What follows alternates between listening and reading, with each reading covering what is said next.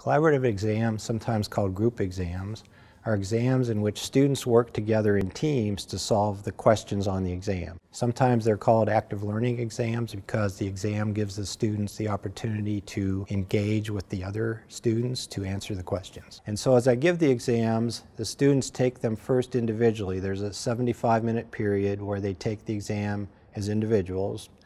Then that's followed by a 45 minute period in which the students take the exam collaboratively. And they answer the questions again, but now they can discuss them. A lot of times they'll get up and use the whiteboard to draw pictures.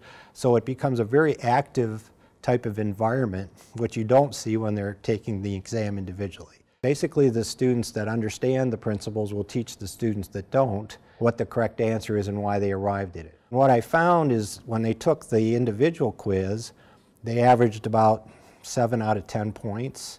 But when they took the quiz after talking to their neighbors, so this collaborative exam format, they were getting about 9.5 points out of 10. So there was a clear improvement in their grade performance, and I think a clear improvement in their understanding of the questions and the material they were being tested on. The group exam turns a regular exam into a learning opportunity for the students. So that's one of the things I really like about it. Teaching evaluations I have, they're always very positive about taking the group exams.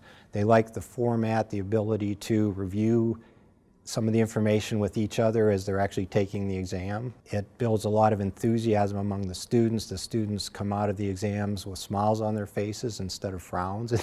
it just, it's a much more positive environment. So the long-term retention from what I've seen and what the literature suggests and the fact that I don't have to go over the questions typically because they're doing that are all reasons that I like to give collaborative exams.